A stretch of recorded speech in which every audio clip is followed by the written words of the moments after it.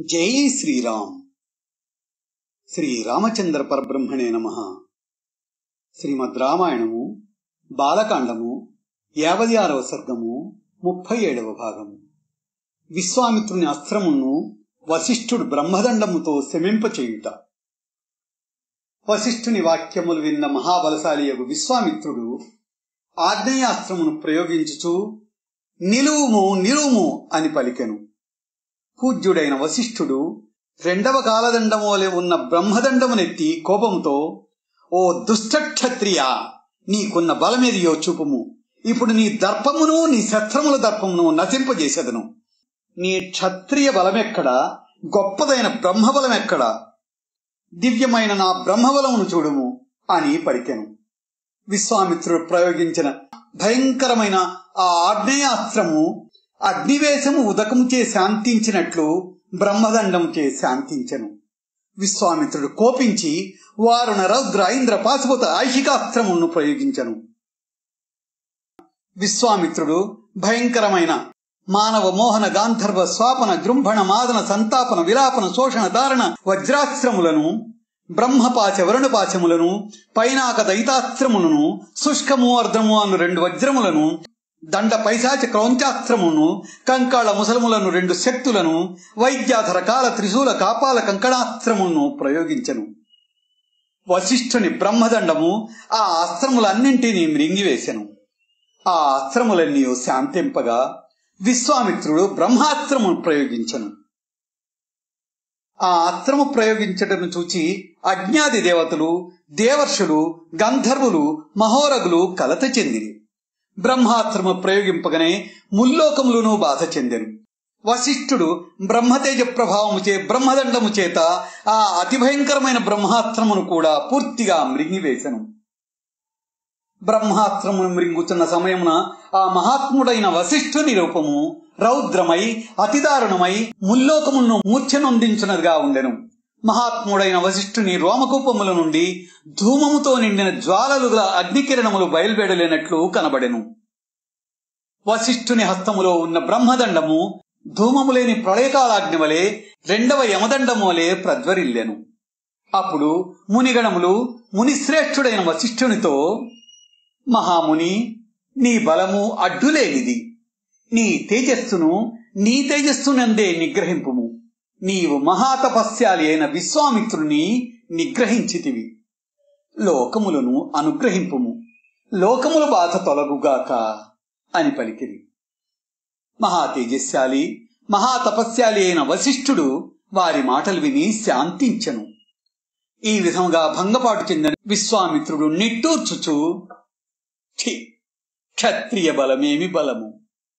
బ్రహ్మతేజో బలమే నిజమైన బలము. ఒక్క బ్రహ్మదండము నా అస్త్రములనన్నింటినీ మృంగివేసినది కదా అని అనుకొని ఆలోచించను. ఇప్పుడు నేను ఈ విషయమును గ్రహించి తిని అందుచేత మనస్సును ఇంద్రియములను నిర్మలముగా ఉంచుకొని నాకు బ్రాహ్మణత్వమునసగు తీవ్ర తపస్సు చేసేదను అని నిశ్చయించుకొనేను. శ్రీమద్ రామాయణమునందరి బాలకాండలోని యాభై ఆరవ సర్గము సమాప్తము.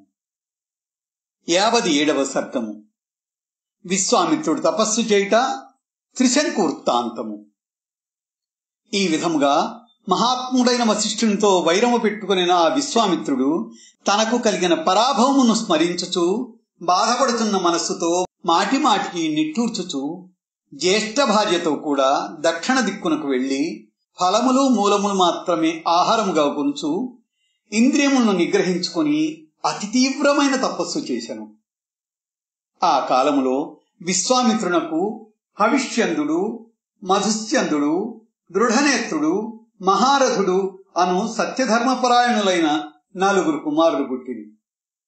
వేయి సంవత్సరములు పూర్తి అయినవి అప్పుడు సర్వలోకములకును పితామహుడైన బ్రహ్మదేవుడు ప్రత్యక్షమై తపోధనుడైన విశ్వామిత్రునితో కుశికనందన నీవు తపస్సు చేత రాజర్షులు చేరగలిగిన లోకమును జయించినావు.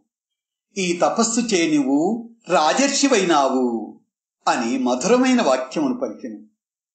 ఈ విధముగా పలికి బ్రహ్మ దేవతలతో కూడా తన నివాస స్థానమైన స్వర్గమునకు వెళ్ళాను.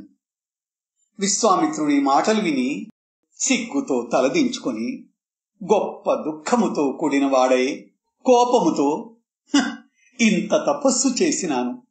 ఆయనను దేవతలును ఋషిగణములును రాజర్షి అని మాత్రమే నన్ను గుర్తించుచున్నారు. ఇంత తపస్సు చేసి ఫలితమేమియూ లేదని తలుచుచున్నాను అని అనుకోనేను. ఈ విధముగా ఆలోచించి విశ్వామిత్రుడు మరల తీవ్రమైన తపస్సు చేయుట మొదలుపెట్టాను. ఆ కాలము నుండే సత్యవాదియు జితేంద్రియుడు ఇక్ష్వాకు వంశీయుడు అయిన త్రిశంకువను రాజు ఉండెను. యజ్ఞము చేసి ఈ శరీరముతోడనే స్వర్గమునకు వెళ్ళవలెను అని అతనికి బుద్ధి పుట్టినది. అతడు వశిష్ఠుని పిలిపించి తన అభిప్రాయము తెలుపగా ఆ మహాత్ముడు ఇది సాధ్యము కాదు అని చెప్పాను. వశిష్ఠుడు నిరాకరింపగా ఆ రాజు ఆలోచించి అచ్చటకు దక్షిణ దిశలో తపస్సు చేసుకొనుచున్న వశిష్ఠ పుత్రులను తన చే యజ్ఞము చేయింపుడని ప్రార్థించుడకై వారి వద్దకు వెళ్ళాను. గొప్ప తేజస్సు గల త్రిశంకువు వశిష్ఠ కుమారుల ఆశ్రమమునకు వెళ్ళి అతడు తపస్సు చేయుచున్నవారు యశస్సు కలవారు తేజస్సు కలవారు అగు నూర్గురు వశిష్ఠపుత్రులను చూచెను. అతడు ఆ గురుపుత్రులను సమీపించి ఆ మహాత్ములందరికీ వారి వయక్రమమును అనుసరించి నమస్కరించి సిగ్గుతో కొంచెము తల వంచి దోసిలి ఒగ్గి ఇట్లనెను. నేను శరణాగత రక్షకుడైన మీ వద్దకు శరణం కోరి వచ్చినాను. మీకు క్షేమమగుగాక. మహాత్ముడైన వశిష్ఠుడు నా కోరిక నిరాకరించినాడు. మహాయజ్ఞం ఒకటి చేయవలెను అని నాకు కోరిక ఉన్నది. అందుకు అనుజ్ఞ ఇవ్వండి. గురుపుత్రులైన మిమ్మలనందరినీ నమస్కరించి వేడుచున్నాను. మీరు తపస్సు చేయుచున్న బ్రాహ్మణోత్తములు. మిమ్ములను తలవంచి నమస్కరించి ప్రార్థించుచున్నాను. నేను శరీరముతో స్వర్గమునకు వెళ్ళునట్లు చేయుటకై మీరు సావధాన చిత్తులై యజ్ఞము చేయించుడు. ఓ తపోధనులారా వశిష్ఠుడు నిరాకరించిన పిమ్మట గురుపుత్రులైన మీరు తప్ప నాకు మరొక గతి ఏదీనూ లేదు. ఇక్ష్వాకు వంశీయులందరికీ పురోహితుడే పరమాగతి.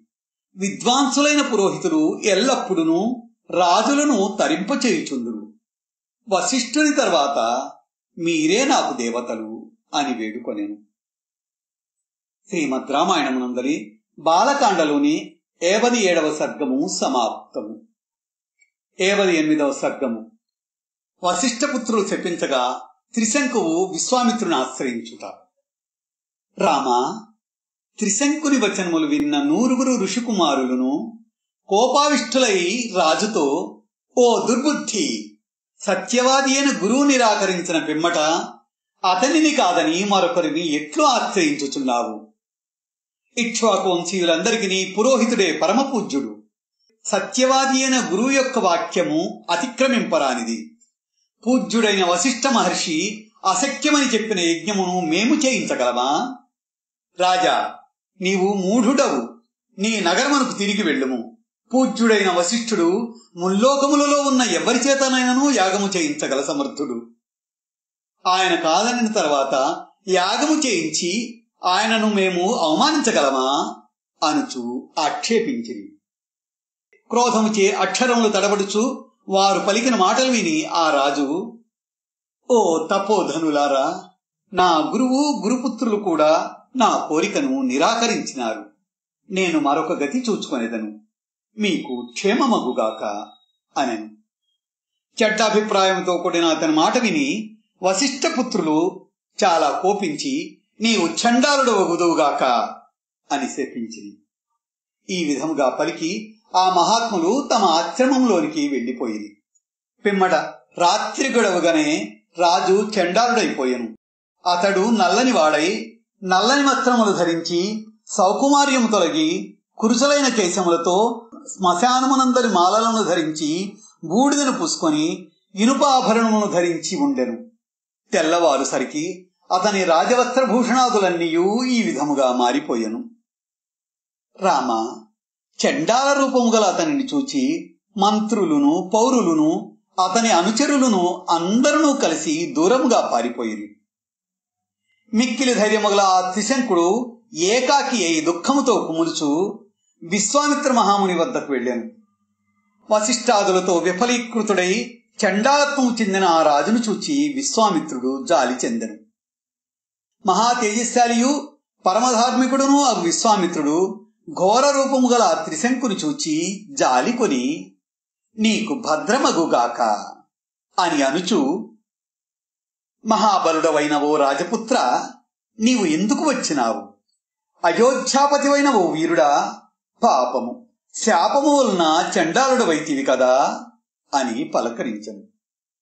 చండాలత్వమును పొందిన ఆ త్రిశంకుడు ఆ మాటలు విని చేతులు జోడించి మాటలాడుటలో నేర్పరి అయిన ఆ విశ్వామిత్రునితో ఇట్లనను. మహాముని గురువు గురుపుత్రులు కూడా నా కోరికను మన్నింపలేదు. ఆ కోరిక తీరకుండగానే ఈ విపరీత ఫలమును పొంది తిని ఈ శరీరముతో స్వర్గమునకు వెళ్ళవలనని నా అభిప్రాయము. నూరు యజ్ఞములు చేసి తిని కాని ఆ ఫలము లభింపలేదు. నేనెన్నడును అసత్యము పలికేరుగను. ఇటుపైన కూడా ఎన్ని కష్టములు వచ్చినను అబద్ధమాడను. నా క్షత్రియ ధర్మముపై ఒట్టుపెట్టి చెప్పుతున్నాను అనేక విధములైన యజ్ఞములను చేసి తిని ప్రజలను ధర్మంగా పాలించి తిని మహాత్ములకు పెద్దలను మంచి శీలము చేతను నడవడికి చేతను సంతోషపెట్టి తిని. నేను ధర్మాచరణకై ప్రయత్నించుచు యాగము చేయవలనని అభిలషింపగా గురువులు అభినందింపకున్నారు. దైవమే బలవత్తరమైనది. పురుష ప్రయత్నము వ్యర్థము. అంతయు దైవవశమే. దైవమే ఉత్తమగతి. దైవము చేత విఫల ప్రయత్నుడనైన నేను మిక్కి ఆర్తుడనై నీ అనుగ్రహమునకై వేడుచున్నాను. అనుగ్రహింపుము. నీకు మంగళమగును. నేను మరి ఎవ్వరి వద్దకునూ వెళ్ళను. మరొక రక్షకుడెవ్వడునూ లేడు.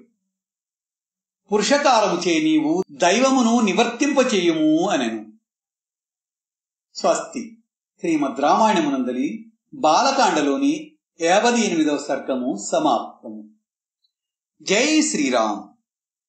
తక్కిన విశేషాలు రేపటి రోజున. జై జై శ్రీరామ్.